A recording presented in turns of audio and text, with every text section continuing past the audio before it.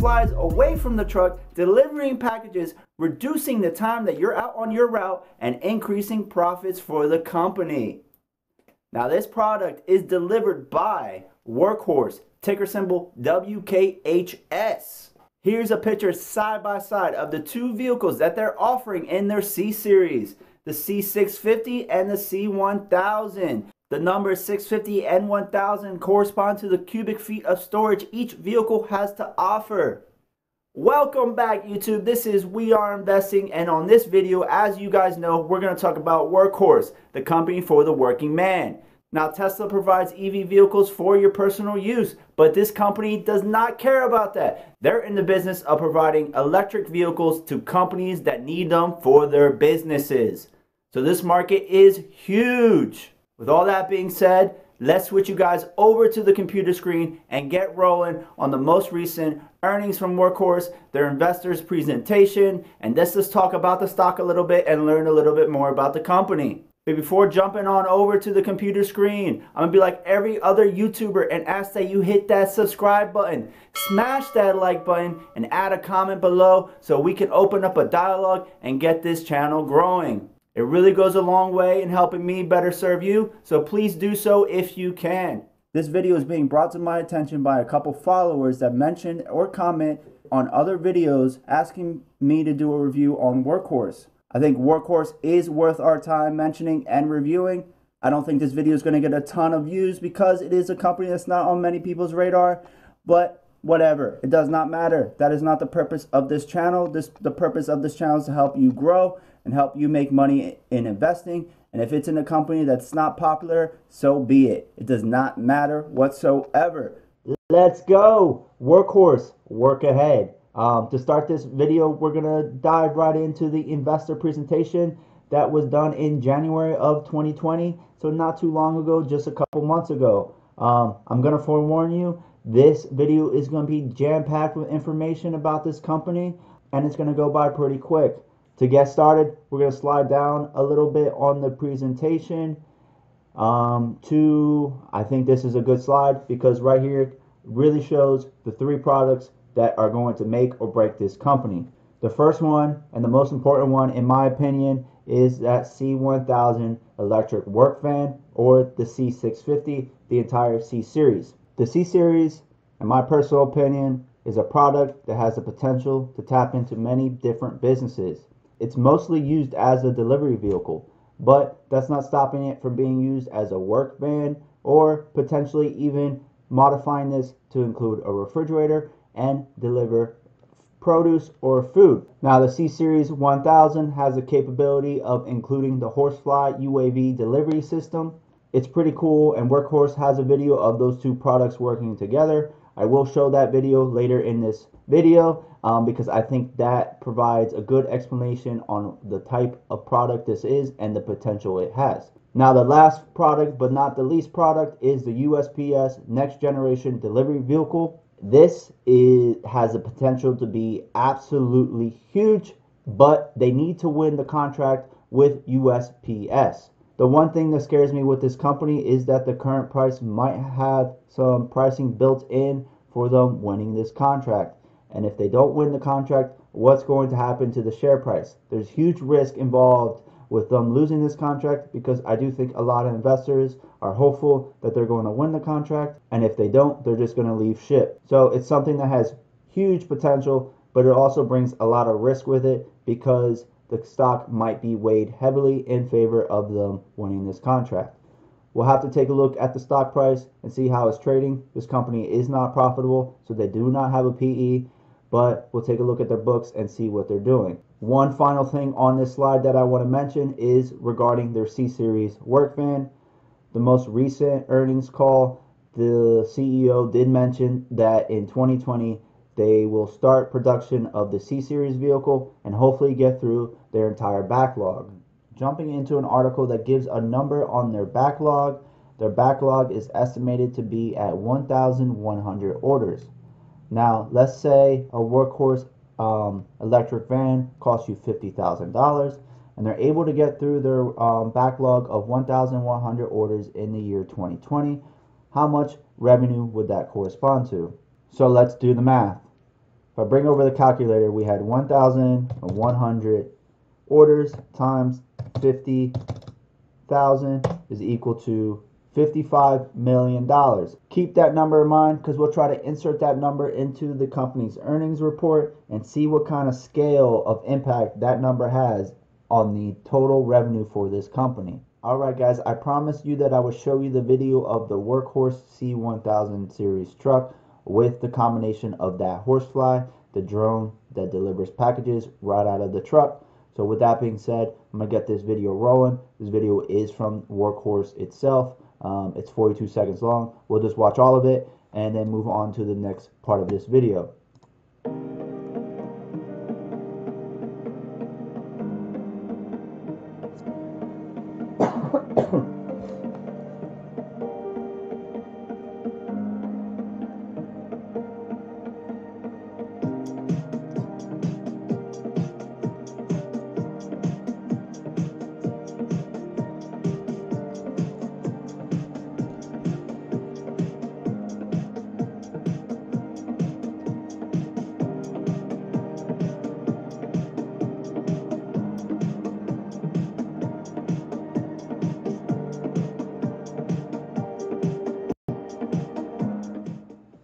One thing I do need to mention when it comes to the workhorse and the horsefly. Right now, it can only deliver one package, but they're working on a patent that's going to allow them to deliver more than one package at one time. And through regulations, this is only um, if you can actually see the drone within sightline distance. Um, unfortunately, the regulations do not allow drone delivery out of sight. Um, but with that being said, that might be something that happens down the road. And even with the sightline distance delivery, it does help the driver deliver multiple packages at one time and allow the company to make more money. The bottom line, the bottom line of this company is whether or not this product will make other companies money. Can they sell this vehicle? If I own, let's say I work for Amazon, right? And I'm looking for a way to increase my delivery speed or decrease my capex when it comes to my delivery vehicles, whether that's gas, maintenance, you know, all those typical things. Does the C1000 vehicle help reduce costs? And does the Horsefly increase the speed of delivery enough that it makes it worthwhile adding to my um, delivery truck? If those two things are no, then this company won't succeed. I personally think the C1000 series vehicle, um, being that it's electric, it's made out of composite. Um, it's going to have low maintenance. Because it's made out of composite, it's going to have low labor costs to construct, which helps the margins for Workhorse and helps them provide a, a vehicle at a lower cost, making it more appealing for a company to buy a huge fleet of these because one, the initial cost will be lower because they're cheaper to make. Then two, maintenance will be down, so the amount of costs that they have for maintenance will be lower. And then labor on an electronic vehicle um, will be less than a labor on an ICE. So those three things together might entice a company to switch over to these electric vehicle delivery trucks. Um, and that's kind of being seen with the USPS looking for a contract on electric vehicles as well. I don't doubt that 10, 15 years from now, we're going to have more EVs on the road, and these EVs aren't just going to be for personal use, but they're going to be also used for business delivery service such like this. So the Workhorse company um, is in the right market. It's just whether or not they can succeed.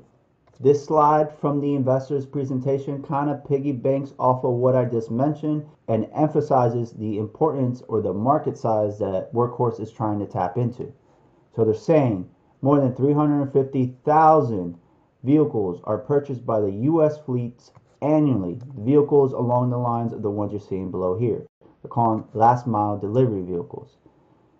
The average price or the estimated price is going to be $50,000 per vehicle.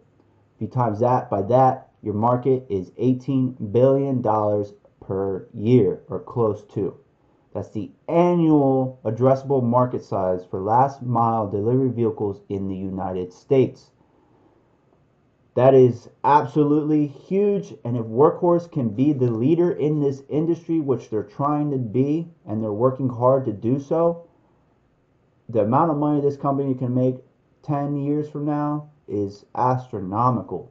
Okay, guys, the last slide and this slide are going to be the most important slides when it comes to this video. The first slide talked about its market cap. There's 350 last mile um, delivery vehicles. Now, if they're able to convert all 350,000 of those vehicles, that market cap is $18 billion. But it's not realistic to think that all of them are going to convert to EV, at least not now. So, how many of them are going to convert? And that's all going to come down to how much money is a company saving converting over from an ICE to an EV delivery truck. That's what this slide's all about. So they're saying within 20 years, you should you should see approximately $170,000 in savings from converting from a gas to an e-gen truck. Now this number is from Workhorse, so it might be a little diluted, but needless to say, even if it's $100,000, that's going to entice a lot of companies to change over from gas to e-gen. And if Workhorse is that leader and is able to take a lot of that market share, the numbers that they're going to be able to sell are going to be astronomical and they're going to have to build a lot more plants to meet up with that demand. So when it comes down to it, I'm I'm not so sure this is going to be a question of demand, but it's rather going to be a question of supply. Can Workhorse provide enough vehicles to really capitalize on that market? To date, they haven't been able to produce any of those vehicles. At the end of this year, they hope to produce um, 1,100, clear that backlog, and then after that, just keep on moving forward, acquiring new factories or building new factories, and increasing the amount of vehicles that they sell.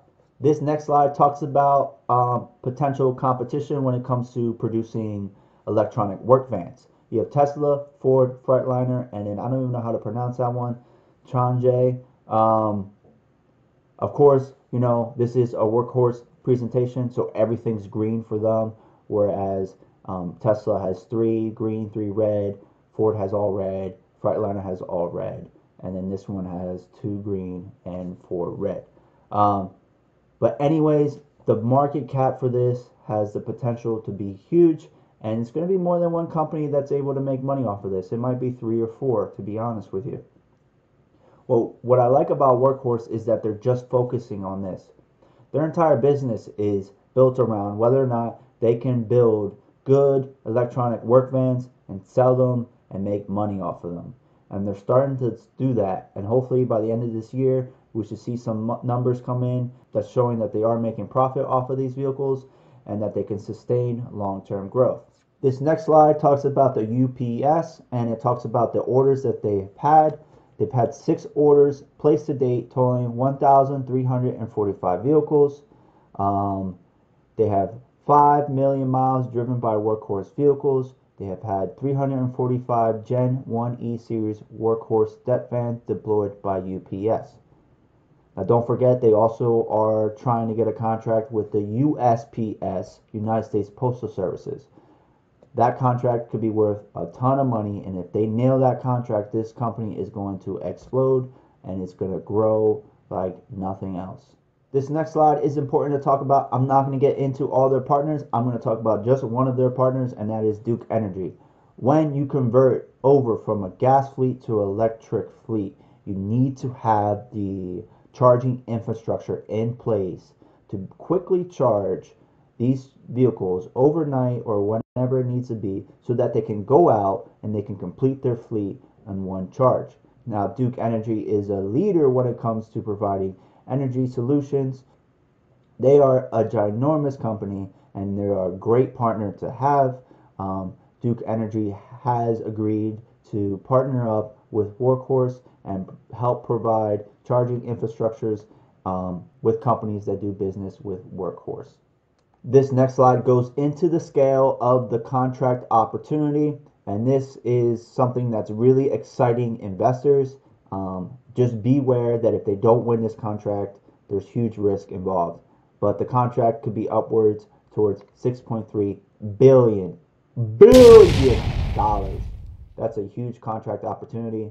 I really hope this company wins it. I want it to go to an American company, um, and I think if they can do it, that would be great for them. And as a as a shareholder, you're really going to reap the benefits from that contract. And that that that contract can put this company's name on the map and help them sell all of their other vehicles as well to other companies.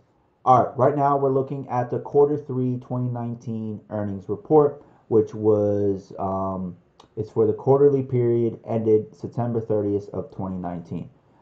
With that being said, this company will release its quarter four 2019 earnings on March 16th pre-market.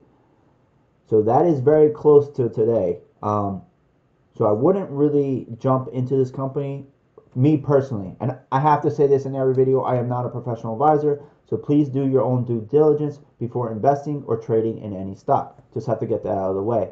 I personally would wait to the next earnings just to see if things are um, continuing to go down the right path. In their earnings report, there are a few things to look at. Um, this company is not profitable, so how much uh, money are they losing? What's their loss per share? Their EPS, their earnings per share. How much cash does this company have? Being that it is not a profitable company and it is a growth company, how much cash do they have to expand their business and to grow? Scrolling down, we'll get into the cash to start, um, and you'll see how it has grown. So um, from December 31st, 2018 to September 30th of 2019, that cash and cash equivalents increased from 1.5 million to 9.3 million. Their total assets increased from 11.8 uh, to 28 million. Their liabilities also increased from 18.9 million to 39.4 million. We had an article that showed that they secured a loan to help them finish up their production line so that they can start producing and clearing out that backlog. That loan is a liability and it increased their total liability. Their long-term debt was reduced slightly. The total liabilities and stockholders' equity increased from 11.8 million to 28 million. Next up, let's get into the sales for the company. Talking about the sales of the company, they decreased from 2018 to 2019. Um, on the earnings call, they were saying that's because they're really just focused on getting their C series complete, getting their production facility in order so that they can start um, producing these trucks and selling them um, and clearing out their backlog in 2020. So if they're able to do so, that's fine. I'm okay with that. So you're going to see a loss across the board from 2018 to 2019 in this regard. The earnings per share was a negative 0.42 and now it's a negative 0.6. Um, that wraps it up for the earnings report. Let's jump on to Thinkorswim very quickly and look at the charts for this stock. Okay, quickly going over the charts. This is the 180 day, four hour chart for Workhorse. Now, keep in mind that this, if anything, is a long term investment. Um, but I always look at the chart in every video, and I'm not going to make it different for this company. Looking at the chart right now, your um, 180 day high is at 5.34 where your 180 day low is 2.05 and it's currently trading at just above $3 today is February 27th of 2020 looking at the charts you can just quick and dirty see some levels of support. You can see one right around here I would say because you have these two those two levels of support which is corresponding to its current price. Be interesting to see whether or not this holds or if it drops down lower and then you're looking at a level of support that is around this which is 2.75 give or take okay let's jump into the one year to see how this company is trading on the one year chart one year one day um, and this is what I was talking about with the price of the UP, uh, the USPS contract being in the current stock price. So you can kind of see that it went from 51 cents up to $5, came down, started trading somewhat sideways, and it's still trading sideways here. There is a lot of risk in play here that if this company does not win the USPS contract, that it drops back down to here unless production of the C Series vehicle is enough to outstand that deficit. Um, so there are risks when it comes to this company. But this company is all about long-term growth and if you if you believe in the business that it's trying to sell. All right, with all that being said and all those factors mixed in, what am I going to do when it comes to Workhorse? And I am going to hold off on buying Workhorse for right now. This is a company that I do like the business that they're trying to pursue. I think the market for this business is huge, and if they can succeed and take some of that market share, they will do just fine as a company. But there are some things that are holding me off from investing in this company right now. One, with the next earnings call being on March 16th, um, I'm only a couple weeks away from that earnings, and I just want to see how the company is doing and you know use that earnings as a reassurance that this company is still on the right track. Two, the current price right now has some of that USPS contract built into it, and there is a lot of risk involved if they don't win that contract. And then third, this company hasn't really sold many vehicles. I don't know how the vehicle is itself. Is it a good product or not? Is it something that businesses actually want? Um, so I'm gonna wait to see how the company does at the end of 2020 and if they're able to complete their backlog and maybe we'll get some reviews on the product itself and then lastly there is competition when it comes to this market. Workhorse is a smaller company and they don't have that much money to work with compared to ford tesla and your other legacy companies. So the competition is there. This is a market that companies are going to want to get into. But workhorse has been doing a lot of work up front and they're trying to push into this industry before everyone else. And they have the potential to be a great company in this sector these are all things that i think can happen.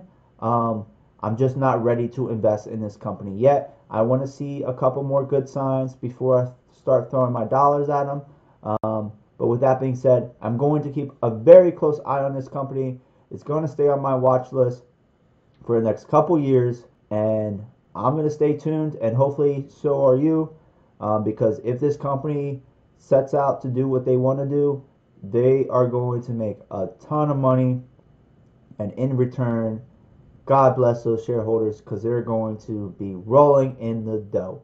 Okay, so that about wraps it up for this video. I thank you so much for your time. Thank you so much for sticking around to the end. Please hit that subscribe button, smash that like button, and add a comment if you have any questions regarding Workhorse or just investing in general. If you aren't familiar with this channel, you also know there's a Facebook group for everyday investors. A link is provided in the video descriptions on how you can join. Other than that, thank you once again for watching this video, and this is We Are Investing, and together we are invincible.